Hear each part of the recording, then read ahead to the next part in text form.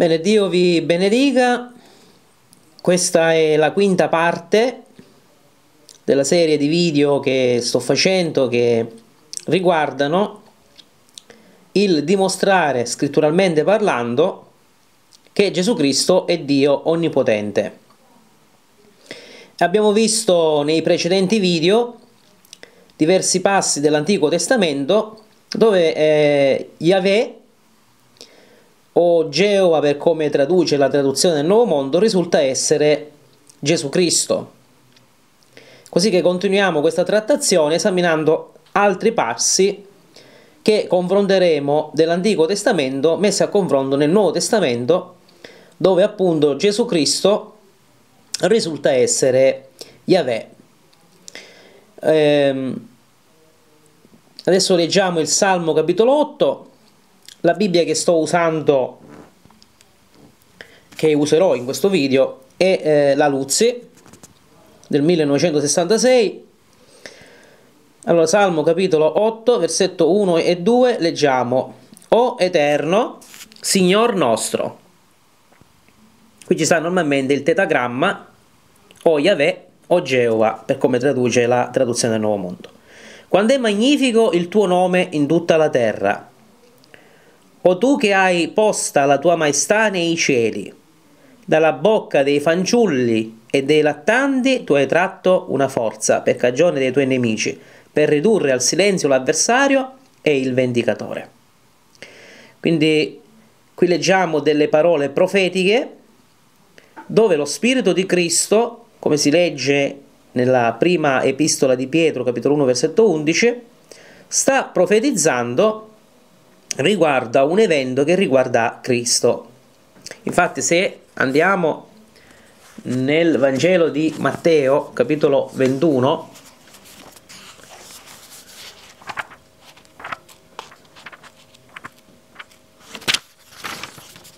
Matteo capitolo 21, i versetti che vanno da 14 fino a 16, vediamo l'adempimento di queste parole e quindi si comprende che il Yahweh di cui si parla nel Salmo capitolo 8, versetti da 2 a 3, è Gesù Cristo. Allora leggiamo, versetto 14, Matteo capitolo 21. Allora vennero a lui nel tempio dei ciechi e degli zoppi ed egli li sanò. Ma i capi sacerdoti e gli scribi, vedute le meraviglie che aveva fatte, e i fanciulli che gridavano nel tempio, Osanna al figliuolo di Davide, ne furono indignati e gli dissero, Odi tu quel che dicono costoro? E Gesù disse loro, Sì, non avete mai letto dalla bocca dei fanciulli e dei lattanti hai tratto lode? Ecco, vedete?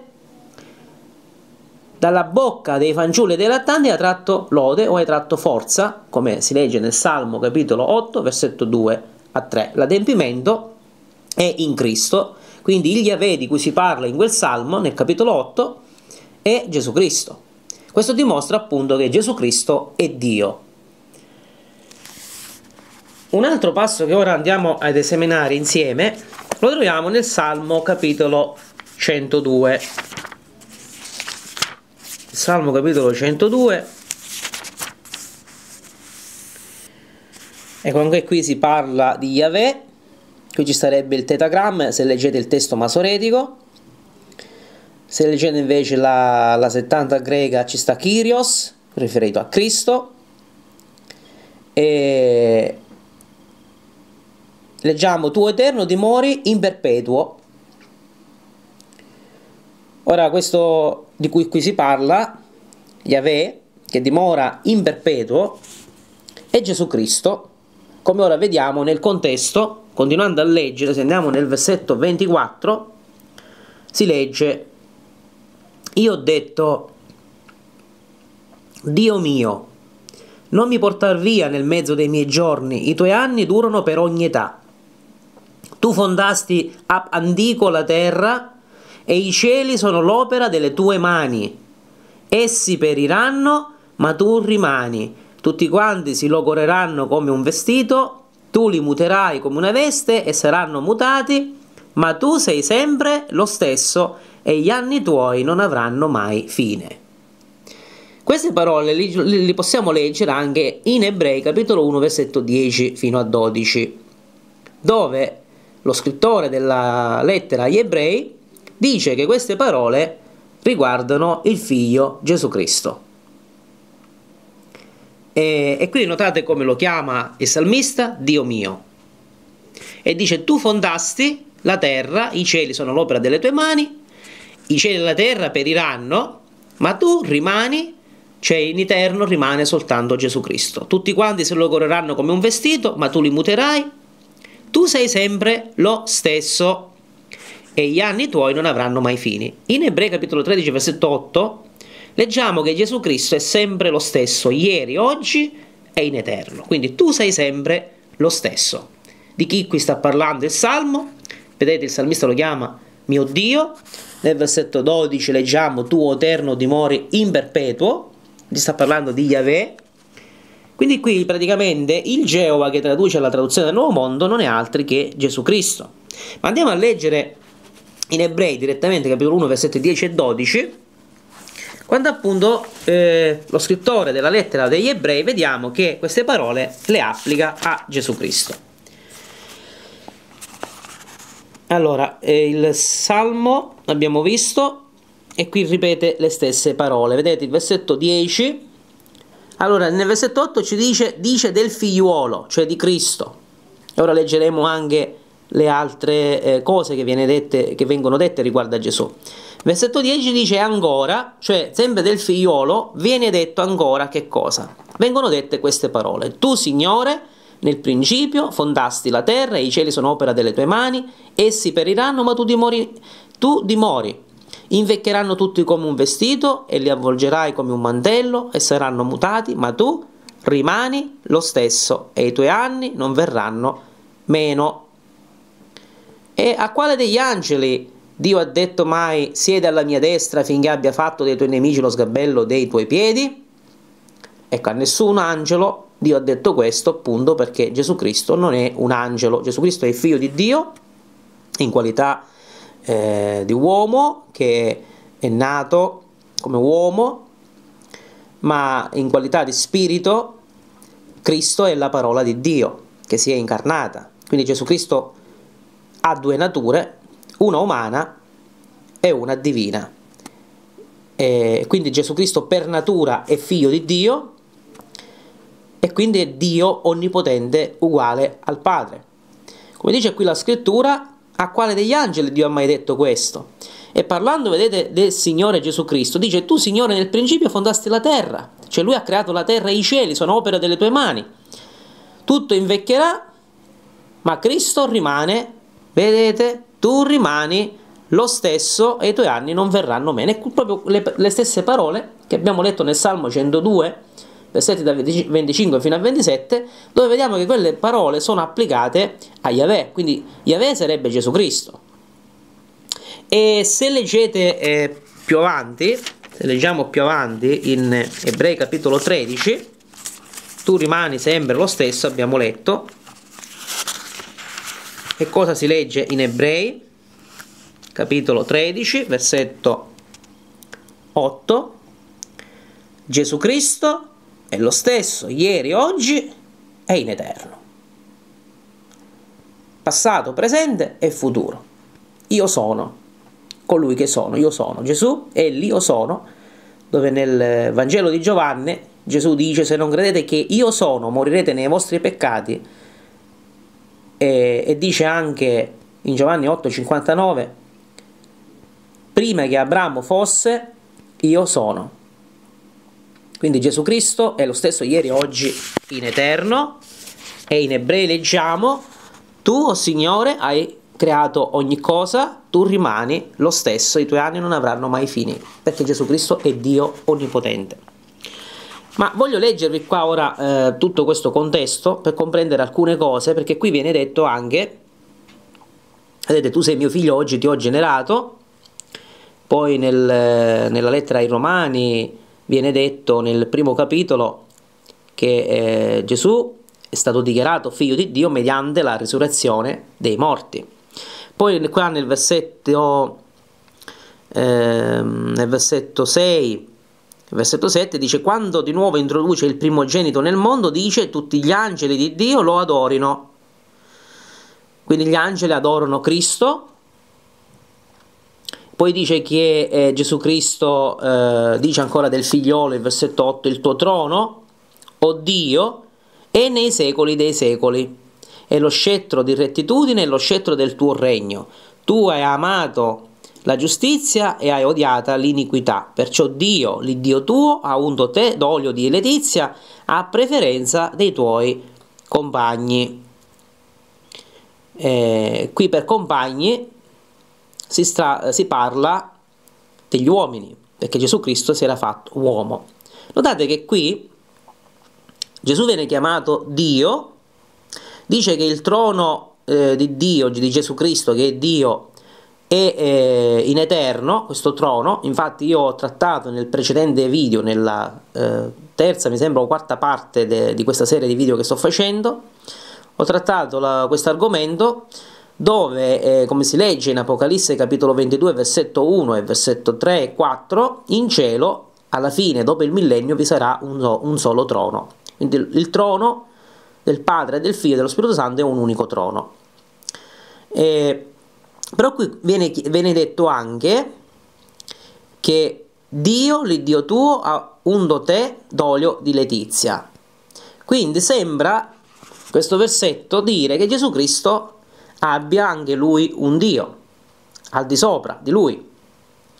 Ora qui chiaramente il versetto è inteso come uomo, Gesù Cristo ha un Dio, in qualità di, di uomo, perché ripeto, Gesù Cristo ha due nature, una umana, perché è, nata, è nato da, da Maria, e quindi Gesù Cristo infatti è figlio dell'uomo chiamato nelle scritture, ma Gesù Cristo è chiamato anche figlio di Dio e Gesù Cristo comunque è anche la parola di Dio che era presso il Padre dal principio. Quindi in qualità di parola di Dio Gesù Cristo non ha avuto un inizio. In qualità di uomo eh, è stato diciamo generato come uomo nel, nel seno di Maria e mediante poi la resurrezione dei morti è stato dichiarato con potenza figlio di Dio, come si legge nel, nella lettera di Romani, capitolo 1, che potete leggere per conto vostro.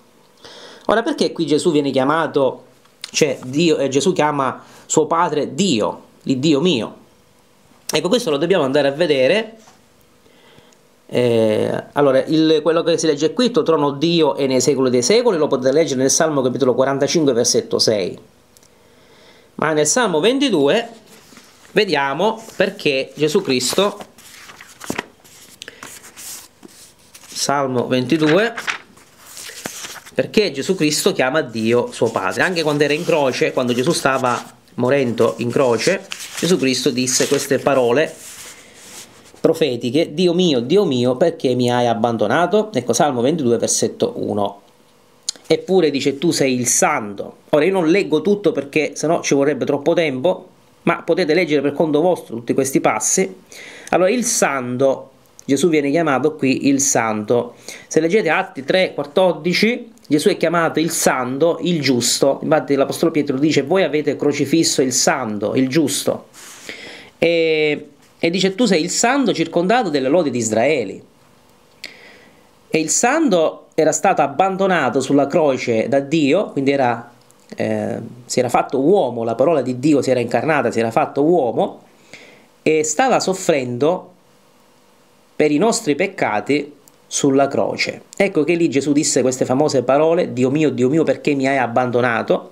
E qui erroneamente molti pensano, hai visto Gesù quindi non è Dio, perché se dice Dio mio significa che al di sopra di lui c'è Dio. Ebbene, queste parole le dobbiamo comprendere anche alla luce del contesto. Perché Gesù dice Dio mio? Ci sono dei passi in cui eh, appunto Gesù chiama il Padre l'Iddio mio. Ma vedete però, come dice qui la scrittura, eh, Gesù, il contesto, eh, vediamo che lui era in croce, stava soffrendo, infatti nel versetto 6 dice io sono un verme e non un uomo, il vituperio degli uomini e lo sprezzato dal popolo. Chiunque mi vede si fa beffe di me, allunga il labbro, scuote il capo dicendo e si rimette nell'Eterno. Lo liberi dunque, lo salvi poiché lo gradisce. Sì, tu sei quello che mai tratto dal seno materno. Badate bene ora a queste parole. Gesù viene generato dallo Spirito Santo nel seno materno di Maria. Ecco che qui c'è la, la, la, la natura di Cristo in qualità di uomo, perché Gesù ha due nature. Quindi non si sta parlando della creazione di Cristo in qualità come spirito di Cristo o come parola di Dio che poi si è incarnata, perché la parola era presso il Padre nel principio, quindi la parola non è stata creata. Ma come figlio di Dio, come uomo, Gesù viene generato, qui dice, nel seno materno e come si legge nelle scritture fu generato per mezzo dello Spirito Santo. E poi dice, mi hai fatto riposare fidente sulle mammelle di mia madre. La madre di Gesù è Maria. E Elisabetta quando vide Maria disse la madre del mio Signore. E quindi, e quindi Maria è la madre del nostro Signore Gesù Cristo. In qualità di uomo, quindi Gesù Cristo è stato un uomo, ha avuto una madre umana. E allora qui dice la scrittura nel versetto 10, a te fui affidato fin dalla mia nascita. Tu sei il mio Dio fin dal seno di mia madre. Ecco. Quindi, quando Gesù è nato come uomo sulla terra, quindi il corpo, carne e sangue di Gesù viene generato, diciamo, nel seno di Maria, si forma il corpo carnale, carne e sangue, l'uomo Gesù si forma nel seno di Maria, qui si adempie questo passo, a te fui affidato fin dalla mia nascita, tu sei il mio Dio fin dal seno di mia madre. Guardate che la scrittura non dice che prima che Gesù nascesse come uomo, non dice la scrittura tu sei il mio Dio fin da quando sono stato creato in principio, no, la scrittura dice tu sei il mio Dio fin dal seno di mia madre, punto. Quindi la scrittura non la possiamo interpretare a comodo nostro, la scrittura eh, si spiega da sé, senza nessuna interpretazione. Ecco che Gesù, in qualità di uomo, poteva dire di avere un Dio. Parla dell'Iddio mio. Ma è normale perché era uomo, si era fatto uomo. Infatti, quindi dovete ben tenere presente tutto il, coste- il contesto. Salmo capitolo 22, Dio mio, Dio mio, perché mi hai abbandonato? Ma in qualità di uomo, perché Gesù era sulla croce e stava soffrendo, era uomo, si era spogliato della sua divinità, quindi la parola si era fatta carne. Addirittura ora vediamo che la scrittura dice che la parola si era fatta inferiore pure agli angeli, quindi Gesù Cristo in qualità di uomo era inferiore pure agli angeli. Quindi, continuando qui a leggere, nella lettera agli ebrei, leggiamo queste parole nel capitolo 2. Difatti non è ad angeli che egli, cioè Dio, Dio Padre, ha sottoposto il mondo a venire del quale parliamo. Quindi Dio Padre non ha sottoposto il mondo a venire, il mondo futuro che noi stiamo aspettando, ad angeli. Quindi Gesù Cristo non è un angelo, altrimenti qui avremmo letto che l'avrebbe sottoposto agli angeli. Se Gesù era un angelo creato da Dio, il mondo a venire sarebbe stato sottoposto ad angeli, di cui Gesù Cristo era il capo degli angeli. Ma vediamo che qui Gesù Cristo non è un angelo, perché appunto la scrittura dice non è stato sottoposto agli angeli. Anzi, come abbiamo visto prima, la scrittura nel versetto 7, capitolo 1, versetto 7, dice tutti gli angeli di Dio eh, lo adorino, cioè adorino Cristo. Continuando ora a leggere nel versetto 8 della lettera agli ebrei, capitolo 2, Leggiamo ancora. Con sottopogli, eh, allora l'hai coronato di gloria e onore, tu gli, eh, gli, hai posto ogni cosa sotto i piedi. Di Gesù Cristo in qualità di uomo gli è stata sottoposta ogni cosa sotto i piedi da parte del Padre. Ora il versetto 8 dice, col sottopoglio tutte le cose, egli non ha lasciato nulla che non gli sia sottoposto ma al presente non vediamo ancora tutte le cose che gli siano sottoposte. Ben vediamo però colui che è stato fatto di poco inferiore agli angeli, cioè Gesù, coronato di gloria ed onore a motivo della morte che ha patita, onde per la grazia di Dio gustasse la morte per tutti. Infatti, per condurre molti figliuoli alla gloria, ben s'addiceva a colui che per cagione della quale sono tutte le cose e per mezzo del quale sono tutte le cose, cioè perché Gesù è il creatore, di rendere perfetto per via di sofferenze il duce della loro salvezza, poiché è colui che santifica e quelli che sono santificati provengono tutti da uno, per la quale ragione egli non si vergogna di chiamarli fratelli, dicendo annuncerò il tuo nome ai miei fratelli, in mezzo alla radunanza canterò la tua lode. Quindi Gesù Cristo si è fatto uomo affinché lui poteva chiamare suoi fratelli gli esseri umani. Quindi noi siamo fratelli chiamati da Gesù Cristo e Gesù dice annuncerò il tuo nome ai miei fratelli. Ora notate il versetto 9 qui dice che eh, Gesù Cristo si era fatto inferiore o era stato fatto inferiore agli angeli. Qui dice che era stato fatto, ma se leggete Filippesi dice che Gesù Cristo si è fatto, perché Gesù comunque è la parola, nessuno lo ha obbligato a fare quello che lui ha fatto, l'ha fatto lui di sua spontanea volontà. Allora, ben vediamo però colui che è stato fatto di poco inferiore agli angeli, cioè Gesù Cristo.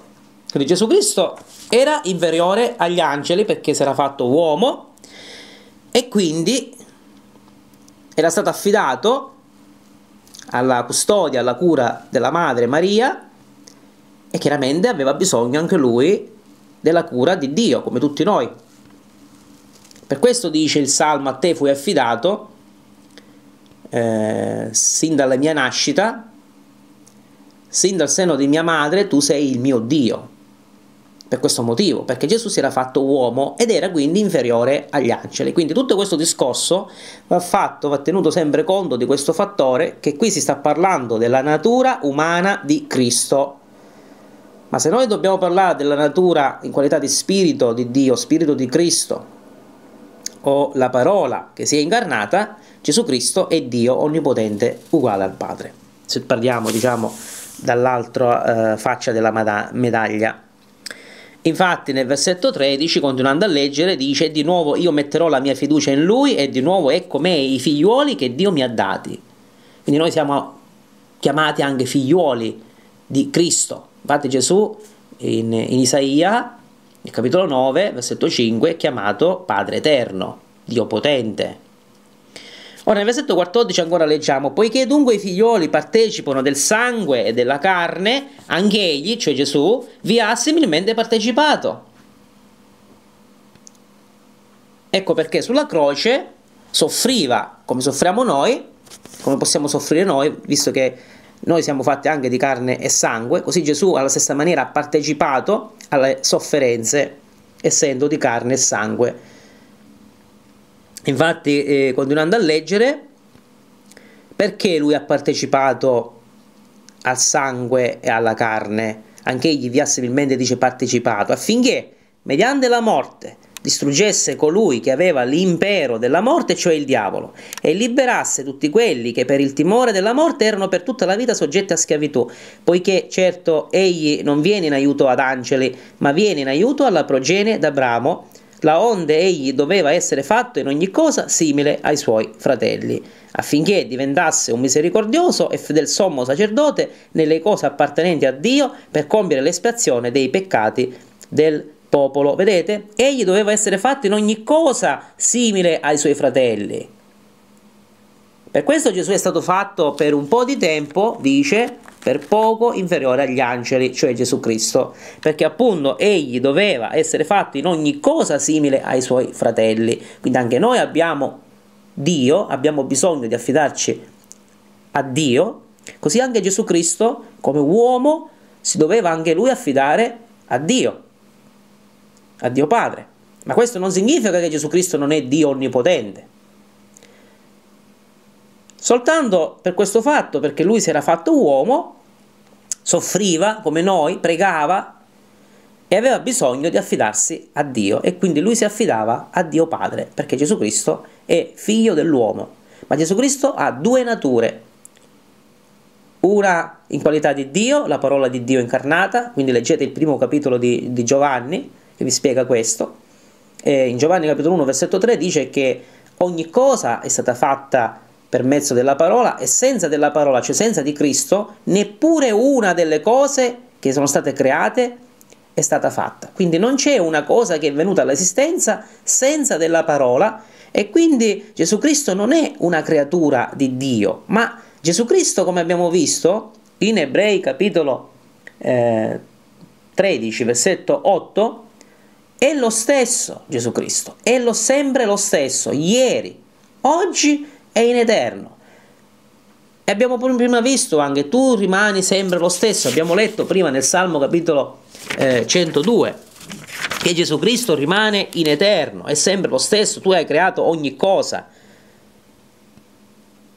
E con, concludo qui la lettura, poiché in quanto egli stesso cioè Gesù ha sofferto, essendo tentato, può soccorrere quelli che sono tentati.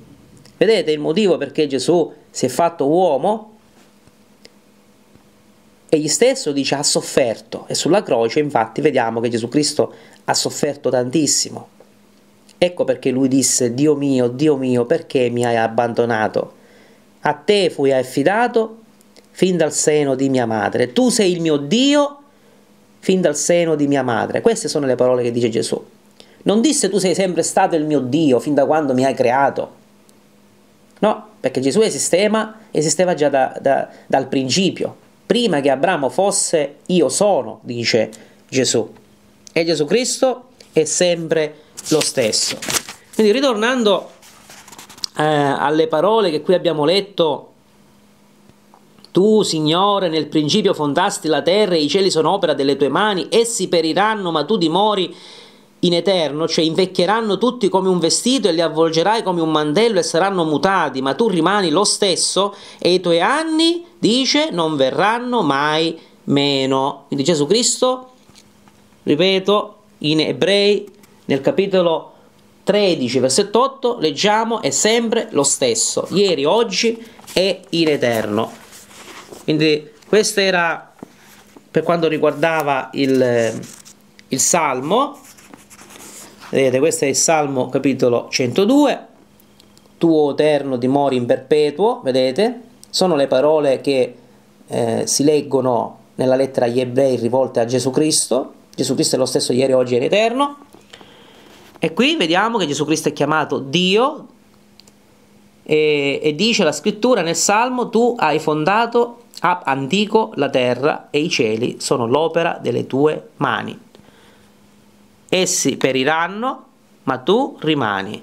Tutti quanti si logoreranno come un vestito, tu li muterai. E qui dice, tu sei sempre lo stesso e gli anni tuoi non avranno mai fini. Quindi Gesù Cristo è eterno, senza inizio e senza fine. In qualità di uomo ha avuto, diciamo, un principio in qualità di uomo perché si era fatto uomo, ma la parola però preesisteva, esisteva dall'eternità, quindi lo Spirito di Cristo è sempre esistito, è eterno, ha creato ogni cosa, ma in qualità di uomo, ecco che eh, nasce dal, dalla Vergine Maria e, e lì appunto si, si, adempiono le parole che abbiamo letto nel, nel Salmo, nel Salmo capitolo 22, quando Gesù dice Dio mio, Dio mio, perché mi hai abbandonato, a te fui affidato fin dalla mia nascita. Tu sei il mio Dio fin dal seno di mia madre, non prima. Ma solo dal momento che Gesù nasce come uomo, viene affidato a Dio Padre, perché Gesù, abbiamo visto, ha partecipato in ogni cosa, anche alle sofferenze, perché si è fatto uomo, era carne e sangue, doveva essere partecipe di ogni cosa eh, riguardo ai suoi fratelli. Ecco perché Gesù ora non si vergogna di chiamarci fratelli, perché lui ha partecipato anche lui, come noi siamo carne e sangue, anche Gesù è stato uomo, carne e sangue, e così Gesù non si vergogna di, chiamarci fratelli, e noi possiamo anche essere, eh, siamo chiamati nella Bibbia, abbiamo visto in ebrei, siamo chiamati figliuoli di Cristo. Bene, eh, concludo questo video e poi farò l'ultima parte, la sesta parte, e vedremo altri passi scritturali.